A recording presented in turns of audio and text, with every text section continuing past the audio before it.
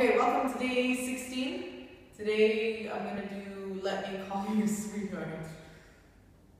Alright, here